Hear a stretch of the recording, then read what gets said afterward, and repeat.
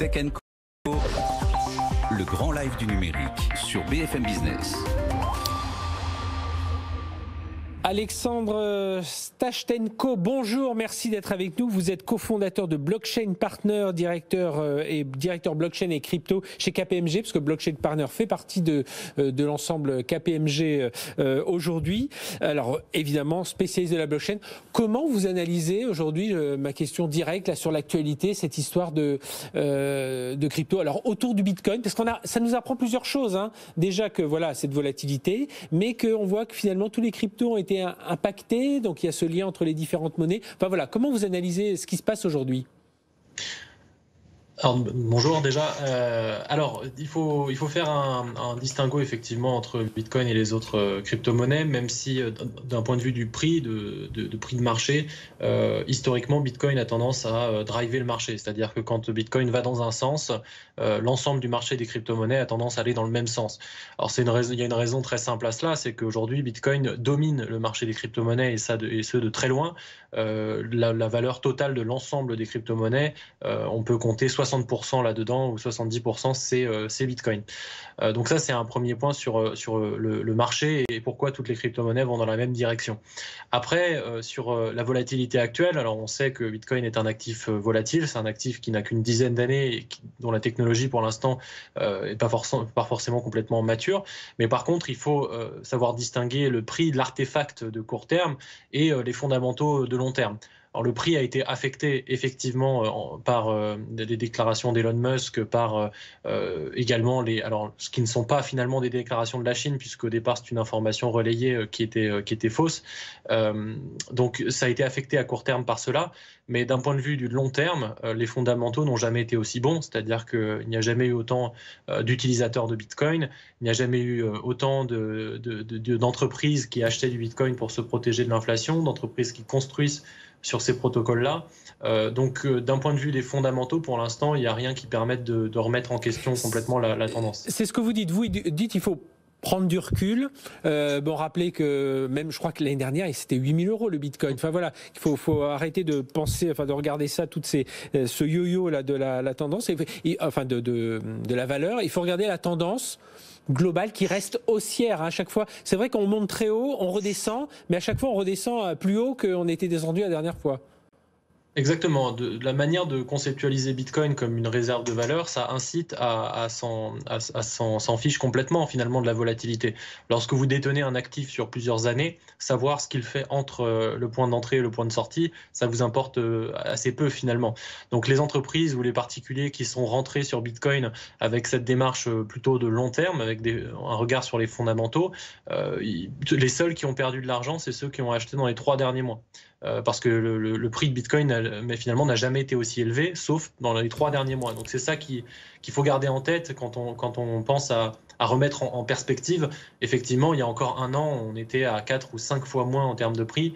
Euh, donc on a encore du chemin à parcourir pour retourner euh, à, à, un prix à un prix qui, qui était celui, celui d'il y a un an seulement. Et, j'imagine que c'est ce que vous conseillez, vous, Alexandre Stachenko, je rappelle, hein, vous, vous, vous, êtes cofondateur de Blockchain Partner, directeur blockchain et crypto chez, chez KPMG. Euh, on reçoit régulièrement Claire Balva aussi, qui, qui vient euh, ici sur ce plateau quand vous conseillez les entreprises, voilà que vous euh, avec lesquelles vous vous travaillez, c'est de dire voilà attention, prendre du recul. Le prix, c'est que la face cachée de euh, de l'iceberg. Euh, les fondamentaux sont là. Enfin voilà, c'est ce que vous, hmm. qui êtes des experts dans, dans le domaine, voilà, vous pas d'affolement. voilà, ne partons pas comme des fous en se disant que c'est une une nouvelle valeur. Il y, a une mode et puis ça va ça va passer. Bah nous, ce qu'on essaye d'enseigner, en tout cas de montrer euh, à, nos, clients, euh, alors c'est pas du conseil en investissement, on n'est pas là pour leur dire d'acheter, vendre et de faire du trading, mais par contre c'est de leur montrer pourquoi c'est un sujet qui est à considérer précisément sur le long terme et c'est un sujet qui est à considérer sous l'angle stratégique et pas seulement technique. C'est un écueil souvent dans lequel les entreprises tombent, c'est-à-dire qu'elles vont considérer la blockchain comme une super technologie qui va leur permettre d'optimiser des systèmes d'information, alors qu'en faisant ça, elles ratent l'essentiel. L'essentiel, c'est qu'il y a une nouvelle classe d'actifs euh, qui émerge. Je crois que Aujourd'hui, Goldman Sachs a d'ailleurs reconnu cela en disant bon, finalement, c'est vrai que c'est une nouvelle classe d'actifs, il va falloir faire des, nouvelles analyses parce que ça ressemble à rien de, ce qu'on connaissait avant.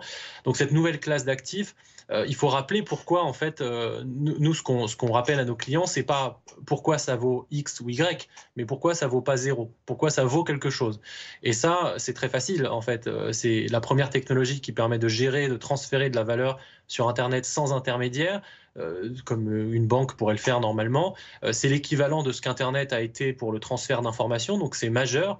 Et il y a plein de cas d'usage. On peut se protéger contre l'inflation, on peut envoyer des virements à l'international euh, pour de, très peu de frais et presque instantanément, on peut échanger avec des personnes non bancarisées, on peut permettre aux lanceurs d'alerte comme Edward Snowden ou d'autres de continuer de se financer et de vivre. Et tous ces cas d'usage-là, plus les entreprises et les particuliers euh, comprennent la puissance de ces usages, plus ils adoptent Bitcoin. Et là, les dernières déclarations qu'on voit de, de, la Chine ou d'autres pays. Voilà, j'allais vous poser cette question justement, Alexandre Stachenko, autour de la Chine. Voilà comment vous analysez euh, les, les, déclarations du, du, gouvernement chinois. Là, on est carrément à ce niveau-là déjà, il faut relativiser parce que euh, moi, je suis dans le Bitcoin depuis six ans maintenant. Euh, ça doit être la septième ou la huitième fois qu'on entend que la Chine va interdire Bitcoin. Donc, euh, pour l'instant, tant que tant que c'est pas fait, moi, je reste sceptique. J'en ai vu déjà d'autres des annonces comme celle-là. deuxièmement, en fait, ça fait prendre conscience, je pense, à tout le monde et le plus vite on s'en aperçoit en Europe, le mieux c'est que le Bitcoin, encore une fois, n'est pas un sujet technique, mais un sujet stratégique et que même au point de vue des États ou d'un point de vue géopolitique, c'est un sujet stratégique. lorsque vous avez, par exemple, euh, les États-Unis qui, font financer leur dette par le monde entier par l'inflation, tout simplement, puisqu'ils se créent eux-mêmes de la, de la monnaie. Tous les détenteurs de, de dollars perdent de l'argent euh, aujourd'hui et du pouvoir d'achat. Donc quand vous avez l'émergence d'un nouvel étalon monétaire potentiel, ou en tout cas un actif financier qui est indépendant, qui est non national, qui permet de faire des transferts de valeur sans intermédiaire euh, en ligne. Euh, Citibank en parlait dans un rapport récemment comme justement le futur outil du commerce mondial. Donc une fois qu'on a compris tout ça, on comprend deux choses. la Chine a à la fois intérêt et pas intérêt à son émergence euh, à Bitcoin. Elle a intérêt parce que c'est une vraie alternative au dollar et qu'elle cherche aujourd'hui une alternative au dollar pour ne pas être sous la coupe entre guillemets du dollar américain. Mais en même temps, elle n'a pas envie non plus parce qu'en parallèle, elle lance ses projets de monnaie numérique euh, beaucoup plus contrôlés, mhm. et donc elle n'a pas envie d'avoir une concurrence euh, à sa propre monnaie numérique, d'autant plus que Bitcoin représente tout ce que, tout ce que la Chine ne peut pas contrôler. Euh, on ne peut pas avoir de contrôle d'échange sur Bitcoin. Donc voilà, elle est, elle est un peu dans, ces, entre deux eaux. Je pense que pour l'Europe, en tout cas, on n'a pas cette question de contrôle d'échange, donc on, aurait tout intérêt à y aller de, manière stratégique.